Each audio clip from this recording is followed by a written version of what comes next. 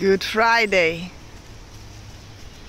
Jesus said, Who doesn't eat of my meat and drink of my blood has no part with me. Like I said, this tree blow the trumpet and is so beautiful yellow trumpets and then when the trumpets fall the seeds start coming down to the ground.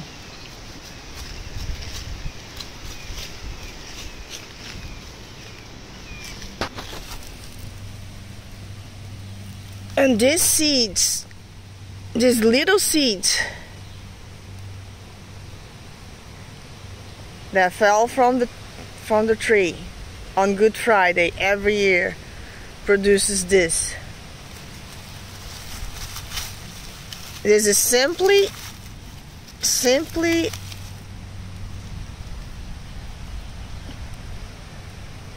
a yellow trumpet tree. It has fall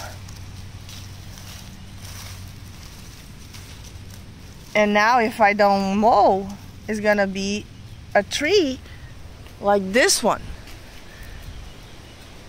and every Passover month becomes beautiful and then the flower dies and